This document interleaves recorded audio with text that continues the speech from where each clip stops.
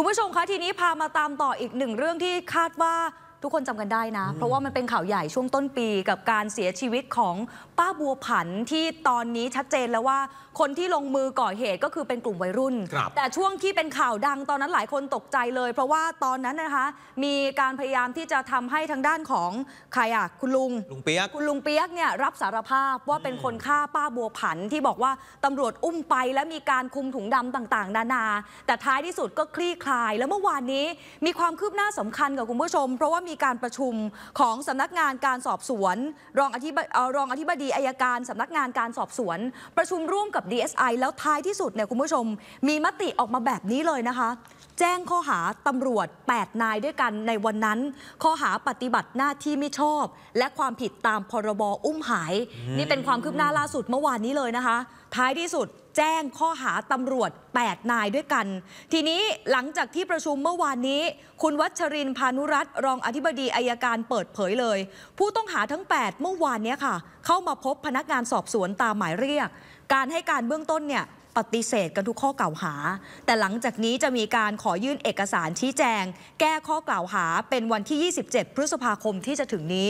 คุณวัชรินบอกค่ะว่า เมื่อวานคณะพนักงานสอบสวนแจ้ง ต่อผู้ต้องหาทั้ง 8 คน เป็นเจ้าพนักงานปฏิบัติ หรือละเว้นปฏิบัติหน้าที่โดยไม่ชอบ แล้วก็ความผิดตามพรบป้องกันปราบปรามการทรมาน และกระทำให้บุคคลสูญหายนะคะ ซึ่งเมื่อวานก็เป็นขั้นตอนที่ผู้ต้องหา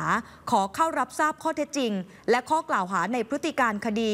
ตามที่พนักงานสอบสวนมีการแจ้ง ซึ่งผู้ต้องหาแต่ละรายเนี่ยก็มีพฤติการที่แตกต่างกันออกไป ทางด้านคุณวัชรินก็บอกบางรายอยู่ในสถานที่เดียวกัน พฤติการอาจจะต่างกัน ก็จะมีการส่งขอเอกสารชี้แจงแก้ข้อกล่าวหาหลังจากนี้ ก็ย้ำนะคะว่าให้สิทธิ์กับผู้ต้องหาเต็มที่ เพราะว่าก็ต้องให้ความเป็นธรรมกับทุกฝ่าย ยืนยันว่าในการสอบสวน ผู้ต้องหามีสิทธิ์นะคะ ที่จะให้การหรือว่าไม่ให้การก็ได้ ไปบังคับไม่ได้ ส่วนการจะมายื่นเอกสารชี้แจงแก้ข้อกล่าวหา ผู้ต้องหาจะต้องเดินทางมาด้วยตัวเองค่ะ เพื่อให้บันทึกคำให้การ แล้วก็นำเข้าสำนวนการสอบสวน ถ้าไม่มาพนักงานสอบสวนจะมีการปิดกล่องในการรับข้อมูล เพราะมองว่าถ้าเกิดขยายเวลาไปเรื่อยๆ จะเป็นการประวิงเวลาค่ะ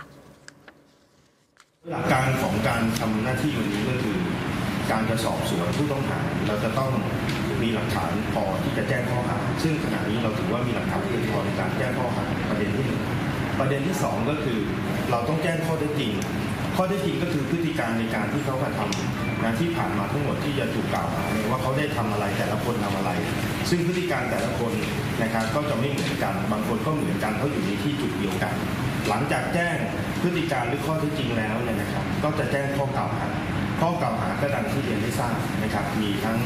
ข้อหาตามประมวลกฎหมายอาญานะครับ แล้วก็ข้อหาตามเรื่องอย่างป้องกันและปราบปรามการทรมานหรือทำให้บุคคลสูญหายครับ การให้การในวันนี้ก็คือว่าไม่ได้เขาไม่ให้การอะไรเลยใช่ไหมอัคะนนี้เป็นสิทธิของผู้ต้องหาอยู่แล้วนะฮะโดยหลักของกฎหมาย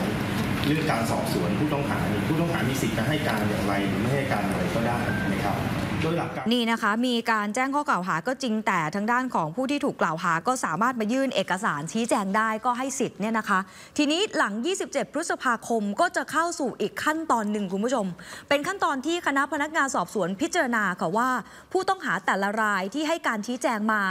ท้ายที่สุดคำชี้แจงฟังได้มากน้อยขนาดไหน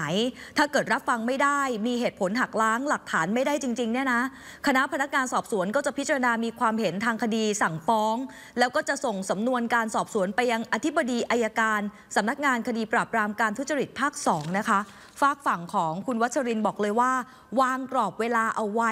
หากผู้ต้องหาทยอยส่งเอกสาร แก้ข้อกล่าวหาครบหมด ก็จะเร่งสรุปสำนวนภายในเดือนมิถุนายนนี้ ก็น่าจะจบเรื่องนี้ ส่วนตำรวจทั้ง 8 นายที่ถูกแจ้งข้อหาก็มีตั้งแต่ระดับสารวัตรสอบสวนสืบสวนสพอรัญญประเทศเนี่ยค่ะตามรายชื่อ รองสารวัตรแล้วก็มีรองผู้กำกับไปจนถึงผอบอหมู่งานสืบสวนด้วย หลังจากนี้ก็ต้องมายื่นคำชี้แจงกันต่อไปนะคะ